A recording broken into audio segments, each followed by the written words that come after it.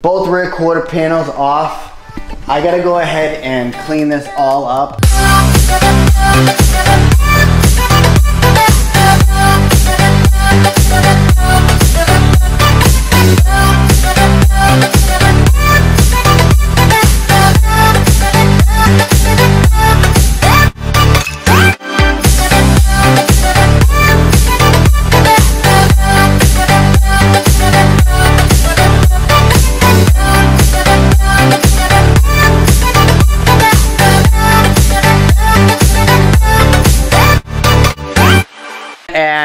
I'm working on the passenger side. You guys can see how much of that insulation stuff is like right here. I will be going ahead and removing, but right now I'm separating the rear door area where it meets the inner lip of the wheel well.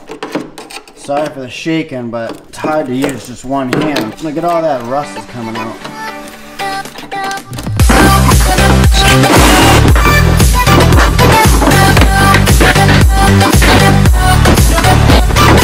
Just like this, you go ahead and separate the quarter panel from the wheel well.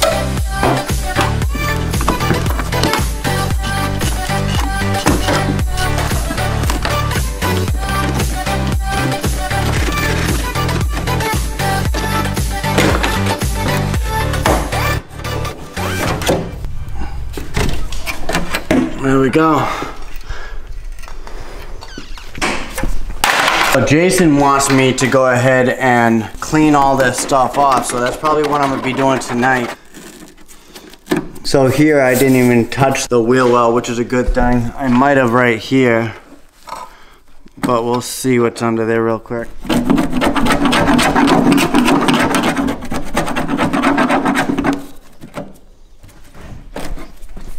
From what it looks like, it's already missing right there.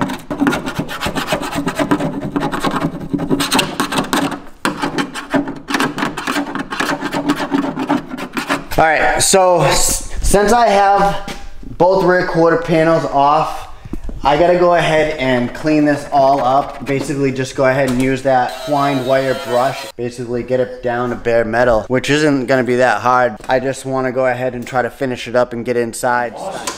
What? She's so freaking bossy. Who? Jen, What? if you want apple pie, get in here and get it now. that goes to both of us. I know, I'll be in a minute. So that is what it looks like.